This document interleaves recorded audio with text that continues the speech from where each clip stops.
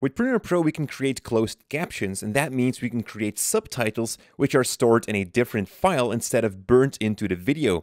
And right here, you can see an example of such a separate file. It holds some time codes, but of course we don't have to write them down ourselves. We can just use Premiere to generate that file, and right here we have the video. And if I'm going to open up that video, you can see now that the subtitles are playing. And I'm going to right click on this video here and head over to subtitle. You can see that I either can disable or enable that subtitle track. So this has tons of possibilities, like for example, uses on YouTube, where users then can enable or disable that subtitle track, or also different languages. You can also use this on a DVD, where people then can use their DVD remote to either enable or disable those subtitles. So let's have a look inside Premiere Pro on how we can do that.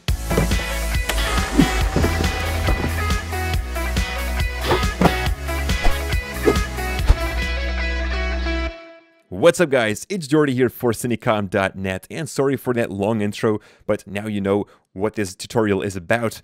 So let's get started right away. We're going to create a new captions file. And to do that, just right click in your project panel and say new item, captions. That will prompt you with a message box, just like as you would create a title in Premiere, just press OK. And now we get some more options. First of all, you have the format of the captions, and you have uh, two weird things. You got teletext, which is uh, pretty old now, and then you got open captions. But we are going to create closed captions because open captions are baked in into the video. And closed captions means that we are going to export it as a different track so that you are able to uh, enable or disable that inside on uh, YouTube or on DVD or anything like that.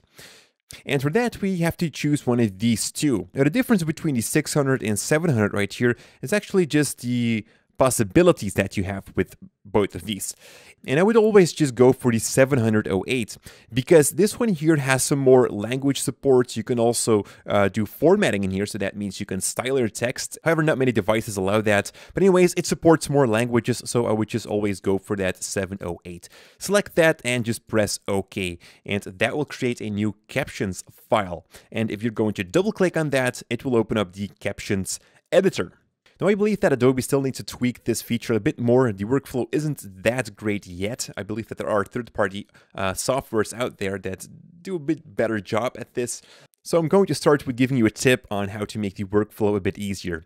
And that is to start with the first title right here. You can see an in and an out point, and that is actually the length of that text. And we're going to make that first text just the complete length of the timeline.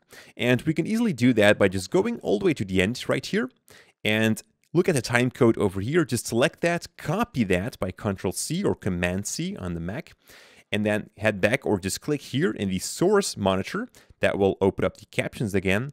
And we're going to set the out point as well to that same uh, length here. So just paste that in here with Control V or Command V for the Mac users. And now the first text has the length of the total edit, which is of course too long, but it's an easier workflow and you will see in just a minute why. I'm going to head back to my project window and just drag in that caption files above my edit like that. Now you can see it actually has the entire length of my edit. And I'm going to make this a bit bigger right here so that you can also see some more information of where the text is at. Now there is one problem and I'm going to start with that as well. If we are going to play this, you won't see any captions.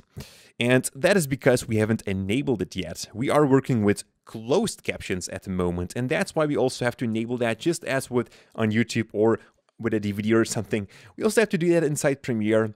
And the easiest way is to add a new button here in your program monitor. And you can do that by clicking on this plus button and then drag in the, if I find it right here, the closed caption display, which is at the moment not enabled. So just drag that uh, button to your buttons layout right here and press OK, and then click on that, and that will enable it. But still, we don't see anything, and that is again a another setting.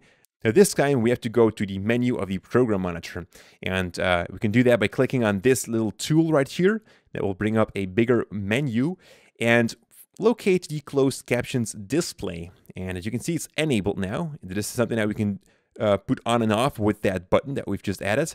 But we also have an option here to go to the settings. Click on that, that will open up a new window.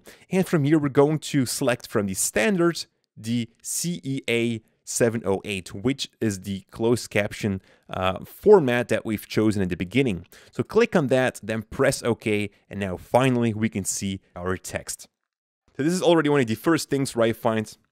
So here are already some of the first things where I find that Premiere could improve on because I was searching pretty long to find out these things. Anyways, let's continue. Click again on your source captions right here and head over to your captions tab and let's edit our subtitles in here. So we are working with someone here who is explaining something about the buildings behind them. It's in Dutch, so we are going to lay some English subtitles on there so all my friends can also know what he is saying. Park 51, dat is een appartementsgebouw. Alright, so that is the first sentence. I'm going to select my captions again here, because once I have that selected, we have some more options here. And uh, I'm just going to copy this right here, the time code again, and paste that in here, which is the out point for the first text. And you can also visually see that now, that the first text only goes until here, where our playhead is at. And that's great. Right here, he actually says Park 51 is a tower block. There we go. This is the first sentence and uh, looking great so far. Don't mind too much about the formatting because like I said before, if you're going to upload this to YouTube, use it on VLC, um, on a DVD, doesn't matter where, they all have their formatting. Then let's create a second caption. You can just do that by clicking on the plus button right here and automatically it will have an endpoint of where the out point is of the previous text. And in the second part, let's listen again what he's saying over there. In dit geval van 80 appartementen and right now he's saying, in this case, 80 apartments. So I'm going to type that as well. Apartments. There we go. And that's the second sentence. Also here, make sure that we are on the ending somewhere. Copy that time code from your sequence and just paste it in as the out point from your text. And now you can see we have one and two sentences. There's one problem, and this is also a little tip for those of you who do a lot of subtitling. At the moment when I'm going to play this, in dit geval, you'll see that one title jumps to another. They are literally against each other, where, where text number one stops at 2 seconds 22, the other one starts at 2 seconds 22. For the viewer, this is not so pleasant because some are earlier done with reading this and then their eyes would go back to the video and they will not get triggered again to read the next sentence because the text doesn't pull that much attention and that's why I usually want to put a little gap between these two. So for the endpoint of the second text I'm just going to let it start a little bit later. Instead of 22 make that 24 or 25 or something. And right now when I'm going to play this you will see that the text is actually blinking and that will trigger it again for the viewer to look to that point appartementsgebouw in dit geval.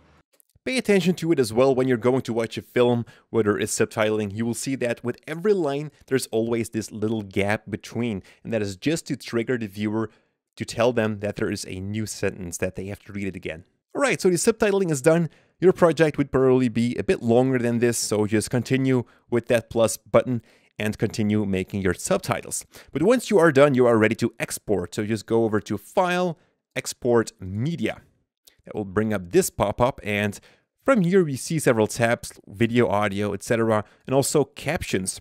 And right here you have to select how you would like to export those captions. And you either have the option to create a sidecar file, which is that SRT file which I showed you in the beginning, but also you have the option to burn those captions into the video, because that will also allow you to import a closed captions file and just burn that into the video just by using Premiere Pro, so you won't need any third-party software for that. But in this case, let's just create that sidecar file. And here you can also choose then the format of that file. And usually you want to go for SubRip subtitle format, which is the .srt, which is the most used. It works on YouTube, it works as well on DVD, etc. So select that, and well, this is basically it. Then just press export it will start exporting your video. And when we are going to have a look back at our project, right here we can find interview and also that SRT file is over there. So when we are going to play that video, you will see the subtitles being there. And of course, we can also disable that track like so, and now we don't see the subtitles anymore. So that's how we can create subtitles as a closed caption inside Premiere Pro. If you have any more questions about these, then definitely pop them in the comments below. And as always, stay creative.